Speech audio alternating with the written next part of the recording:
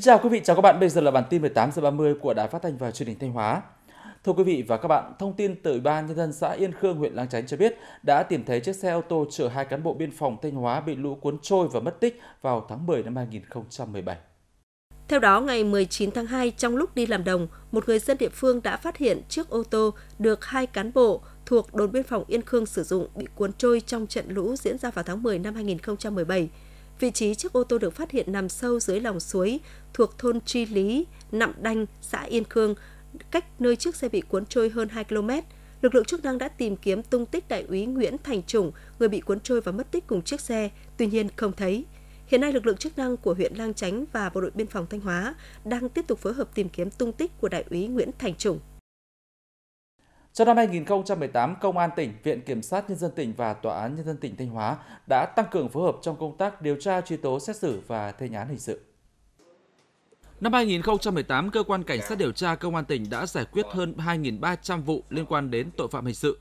Tỷ lệ phá án đạt 83,5%, án đặc biệt nghiêm trọng đạt trên 96%.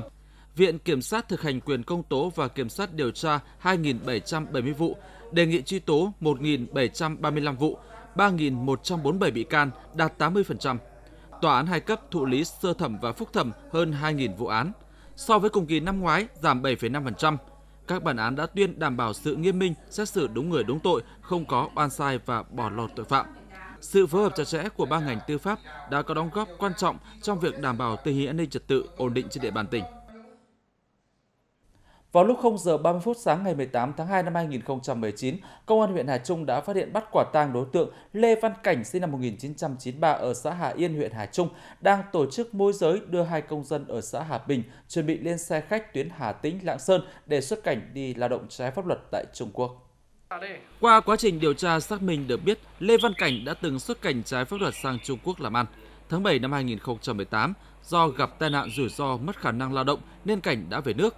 Sau khi về nước, lợi dụng các mối quan hệ quen biết, Cảnh đã lên mạng Zalo tìm những lao động nhàn rỗi để gạ gẫm, môi giới đưa sang làm việc tại Trung Quốc với chi phí 5 triệu 500 nghìn đồng một người.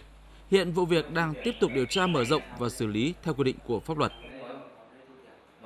Thực hiện đợt cao điểm tấn công chấn áp tội phạm dịp sau Tết Nguyên đán kỷ hợi 2019, trong các ngày từ 13 đến 19 tháng 2 năm 2019, đội cảnh sát hình sự công an huyện Thiệu Hóa đã liên tiếp triệt xóa hai sới bạc, bắt giữ 24 đối tượng, thu gần 90 triệu đồng và nhiều tăng vật khác có liên quan. Khoảng 15 giờ ngày 13 tháng 2, Công an huyện Thiệu Hóa đã phối hợp với Công an xã Thiệu Long triệt xóa sới bạc do Lê Văn Mạnh, sinh năm 1989 ở xã Thiệu Long cầm đầu, bắt quả tăng 12 đối tượng đang đánh bạc dưới hình thức ba cây, thu giữ gần 60 triệu đồng. Tiếp đó, 17 giờ ngày 19 tháng 2, Công an huyện đã phát hiện bắt quả tang 12 đối tượng đang đánh bạc dưới hình thức sóc đĩa tại nhà Lê Thị Sập, sinh năm 1960 ở xã Thiệu Trung, thu giữ gần 30 triệu đồng. Hiện cả hai vụ việc trên đang tiếp tục được Công an huyện Thiệu Hóa điều tra làm rõ. Đến nay, tỉnh Thanh Hóa đã cơ bản hoàn thành diện tích gieo cấy lúa vụ chiêm xuân. Hiện cây lúa đang bén rễ hồi xanh, đẻ nhánh và đây cũng là thời điểm thuận lợi để nhiều đối tượng sâu bệnh phát sinh gây hại. Do đó, cùng với việc tăng cường chăm sóc, ngành nông nghiệp các địa phương đã chỉ đạo bà con nông dân bám sát đồng ruộng, theo dõi chặt chẽ diễn biến sâu bệnh để có biện pháp phòng trừ kịp thời. Do ảnh hưởng thời tiết, tại nhiều địa phương, bệnh nghẹt rễ bọ trĩ đã xuất hiện trên trà lúa xuân muộn, ấp bưu vàng chuột cũng đã phát sinh gây hại nhẹ, có nơi gây hại nặng cục bộ. Các địa phương đã tăng cường chỉ đạo hướng dẫn bà con tiến hành phun trừ hiệu quả, tránh nguy cơ lây lan ra diện rộng ảnh hưởng đến quá trình sinh trưởng phát triển của cây lúa. Thì Ủy ban nhân xã đã có cái hướng dẫn cho bà con nhân dân là thường xuyên thăm đồng và căn cứ vào điều kiện thời tiết. Nếu như điều kiện thời tiết mà bất thuận, bệnh đạo ôn có thể là phát sinh phát triển lây lan trên diện rộng thì để kịp thời là phòng trừ. Theo khuyến cáo của ngành nông nghiệp, Thời tiết ấm từ đầu vụ sẽ giúp cho cây lúa phát triển nhưng cũng khiến cho sâu bệnh nhất là bệnh đạo ôn có khả năng xuất hiện sớm và diễn biến phức tạp.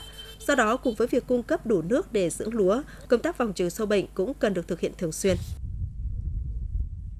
Chủ tịch Ủy ban nhân dân tỉnh Thanh Hóa vừa phê duyệt đề án nâng cao chất lượng dạy học ngoại ngữ trên địa bàn đến năm 2025. Trong đó, Sở Giáo dục và Đào tạo được giao tổ chức kỳ khảo sát, đánh giá trình độ năng lực cho đội ngũ giáo viên tiếng Anh các cấp học. Theo kế hoạch, trong tháng 3 năm 2019 sẽ tiến hành khảo sát đợt 1. Sau 9 năm triển khai đề án dạy và học ngoại ngữ trong hệ thống giáo dục quốc dân giai đoạn 2008-2020 của Bộ Giáo dục và Đào tạo, Mặc dù đã đạt được một số kết quả, nhưng nhìn chung, chất lượng dạy và học ngoại ngữ trong các nhà trường ở Thanh Hóa đang còn bộc lộ nhiều hạn chế yếu kém. Một trong những nguyên nhân quan trọng dẫn đến tình trạng trên liên quan đến chất lượng đội ngũ giáo viên. Hiện nay có tới 55,17% số giáo viên dạy môn tiếng Anh trong tỉnh tốt nghiệp các hệ đào tạo không chính quy. Do đó, việc khảo sát đánh giá năng lực giáo viên tiếng Anh là cần thiết, phù hợp với chủ trương triển khai đề án của tỉnh. À, chúng tôi đã thành lập à, ban à, tổ chức và triển khai cái kế hoạch sát hạch tiếng Anh. Trước hết là trong đợt 1 này là sát hạch cho 630 giáo viên mà chưa đủ cái năng lực tiếng Anh theo quy định hoặc là chưa tham gia sát hạch trong các kỳ trước. Về cái kế hoạch ấy, đến nay thì cơ bản đã triển khai đúng như là cái đề án đề ra. Theo kế hoạch, kỳ khảo sát đánh giá năng lực giáo viên tiếng Anh đợt 1 sẽ diễn ra vào ngày mùng 9 và mùng 10 tháng 3 năm 2019 tại thành phố Thanh Hóa do trường Đại học Ngoại ngữ Đại học Quốc gia Hà Nội sát hạch. Sở Giáo dục và Đào tạo sẽ tiếp tục tổ chức các đợt khảo sát đến năm 2025. Kết quả khảo sát sẽ là cơ sở để ngành giáo dục có kế hoạch phân loại, đào tạo, bồi dưỡng, nâng cao chất lượng dạy học môn tiếng Anh.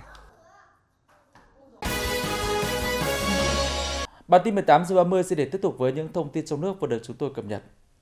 Những ngày gần đây, dịch bọ xít mũi bắt đầu xuất hiện tại vùng chuyên canh cây cà phê đặc sản Arabica tại thành phố Đà Lạt và huyện Lạc Dương, tỉnh Lâm Đồng, với tổng diện tích khoảng 1.600 ha. Trong số này có 418 ha bị nhiễm nặng, tỷ lệ hại từ 20 đến 45%. Diện tích cà phê nhiễm bệnh tập trung tại các khu vực giáp rừng, nơi gần sông suối, vườn cây rậm rạp, xanh tốt. Nguyên nhân bọ xít mũi tăng so với cùng kỳ năm trước chủ yếu do thời tiết có mưa rải rác, trời âm u. Một số diện tích cà phê sau thu hoạch bắt đầu ra chỗ non, nông dân đang tập trung thu hoạch, chưa chủ động phòng trừ. Theo Trung tâm Y tế Dự phòng thành phố Hồ Chí Minh, tính từ đầu năm 2019 đến nay, toàn thành phố có hơn 6.000 trường hợp mắc sốt xuất huyết, tăng hơn 200% so với cùng kỳ năm trước. Ghi nhận tại bệnh viện Bệnh nhiệt đới thành phố Hồ Chí Minh, chỉ tính riêng tháng 1, bệnh viện tiếp nhận khoảng 1.600 trường hợp mắc sốt xuất huyết điều trị nội trú, đặc biệt có hai trường hợp tử vong và nhiều trường hợp nặng phải thở máy lọc máu. Trước đây, bệnh sốt xuất huyết được cho là bệnh của trẻ em, Tuy nhiên, gần đây tỷ lệ bệnh nhân sốt xuất huyết người lớn trên 15 tuổi sấp xỉ 50% trong tổng số ca bệnh ghi nhận được.